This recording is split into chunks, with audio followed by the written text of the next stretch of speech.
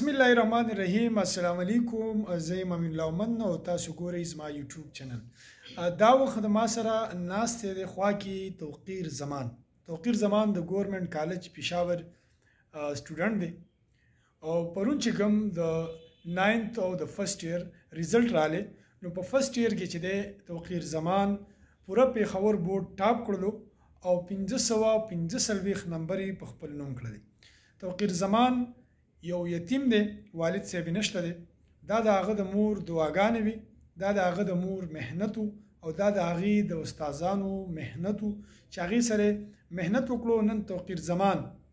هغه چې دی 545 نمبر یې واغستلی هغه نه صرف د ګورنمنت کالج بلکې پوره پیښور بورډ چې دی هغه ټاپ کړلو او فرست پوزیشن یې واغستو دغه توقیر زمان سره خبرې کوو توقیر زمان څه وایي د دې محنت سله څه وه او دوی ته چې دا ټول کریډټ چا ته ورکوي جی توقیر زمان صاحب څه به وایي تا چې په پېښور بورډ کې چې دی فرسټ پوزیشن حاصل کړو او 545 نمبر یې حاصل کړل څه به وایي جی بالکل پرون زموږ رزلټ وو ته او زما به کې 545 مارکس وو دې کې زما لږ ډېر مهنت و ځکه چې الله تعالی مهنت په انسان لاس کې ایښی دی او باقي الله تعالی کامیابي ورکوي انسان نه دې نه علاوه زما والدینو دعاګانې اسپیشلي زما مور دعاګانې زما والد صاحب خو وفات دی تقریبا درې کاله یې کېږي زما ترونو سپورټ و ما سره د هغې چې وجې زه اوس په کوم مقام باندې یم دې نه علاوه زموږ کله چې څومره ټیچران دي اسپیشلی زموږ چې کوم ایکس پرنسپل و نصر الله خان صاحب چې هغه اوس د بورډ چیئرمین دی او اوس موجوده پرنسپل تاج الدین صاحب زه هغه ډېر شکر ګزار یم چې هغه موږ ته کوم ماحول پرووایډ کړی دی زموږ ټیچرانو محنت دی کې او زه خپل ټول فیملی ته ثانک یو وایم او ټولو شکریا ادا کوم ټولو ټیچرانو ته شکریا ادا کوم زه خپل مور ته مبارکباد وایم مور دې دغه نمبرونو پوزیشن نه خبره ده جی جی بالکل ها خبره ده هغه ته خوشاله به ډیره زیاته خوشاله ده جی صحیح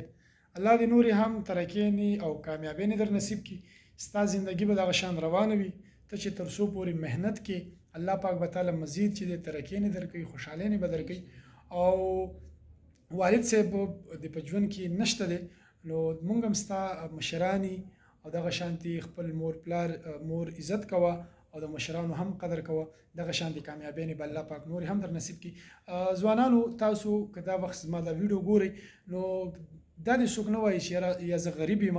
یا زه کمزور یم توقیر زمان درې کاله مخکې والد سي وفات شوی دی او صرف یو مور ده چې هغه په د باندې خیال ساتي او د چې د